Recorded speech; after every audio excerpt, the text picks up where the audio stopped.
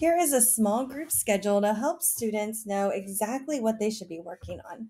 So, typically, when it comes to station rotation, there are four stations the teacher station, the independent station, and the four C's and digital content.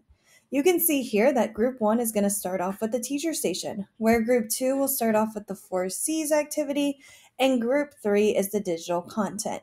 Depending on how many students you have in your class and how large or how small you want your groups to be, you might create a for another group. And if you want to use this template, right here is where you can customize all of these resources um, and add another column and then add a group number four.